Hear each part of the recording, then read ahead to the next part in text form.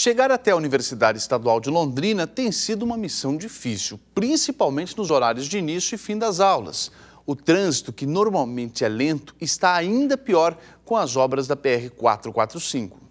Trânsito caótico. Chegar até a Universidade Estadual de Londrina é um exercício de paciência para qualquer motorista. X. Tá difícil? É todo dia assim? Tá todo dia. Em horários de pico, as rotatórias ficam intransitáveis. Carros parados por todos os lados. A situação é ainda pior neste ponto que fica ao lado do viaduto, que ainda está em construção no acesso pela Avenida Castelo Branco.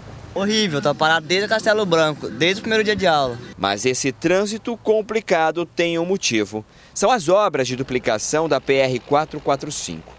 E a situação piora ainda mais. Quem vem do centro e precisa entrar na UEL pelo acesso da rodovia, é necessário fazer um percurso ainda mais longo. O único desvio que existe fica na cidade de Cambé. Bem complicado, todo dia esse trânsito aqui, eu moro próximo, não saio muito cedo. Todo dia tem que pegar esse trânsito para chegar na universidade.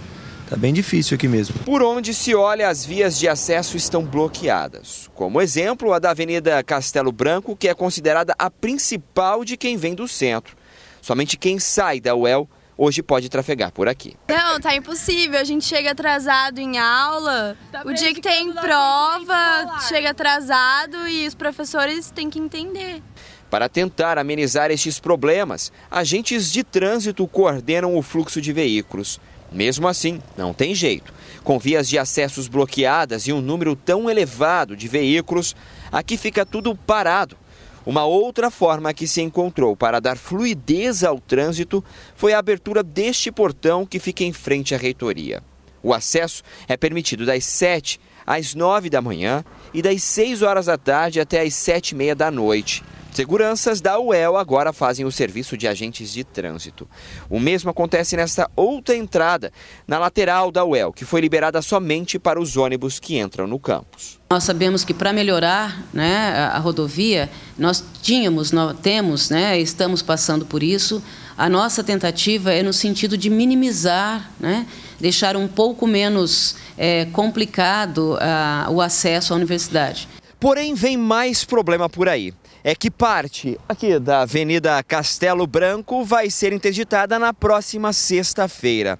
Desde essa rotatória até lá em cima, na entrada da universidade. Isso significa que quem sobe, quem desce e quem pega o desvio saindo da rodovia vai precisar procurar rotas alternativas. Mais uma vez, isso se dá por conta das obras de duplicação da PR 445 houve até uma tentativa de negociação entre a reitoria da universidade e o DR, Departamento de Estradas e Rodagens, que é responsável por esses serviços de duplicação. Mas não se chegou a conclusão alguma. O retorno para a saída da universidade, principalmente no turno noturno, que o movimento é muito grande para quem vai para outras cidades mesmo, e é mesmo aqui para o centro da cidade, nós teremos que deslocar os, algumas, alguns agentes de segurança nossos para que eles possam fazer essa orientação.